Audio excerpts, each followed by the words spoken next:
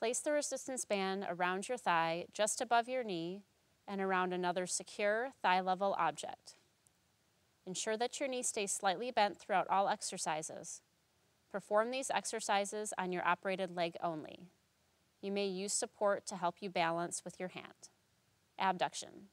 Stand so that you are perpendicular to the table leg with your supporting leg next to the table leg. Start with both legs together, then move the operative leg away from midline of your body. Slowly return to the starting position and repeat. You should feel the muscles on the outside of your hip working. Adduction. Now stand with the leg attached to the resistance band next to the table leg. Start with legs spread apart and move your leg towards the midline of your body. Slowly return to the starting position and repeat. You should feel the muscles on the inside of your hip working.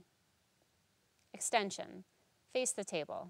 Start with legs together, then move the leg attached to the tubing backwards using the muscles in the back of your thigh and in your buttocks. Slowly return to the starting position and repeat. Do not arch your back.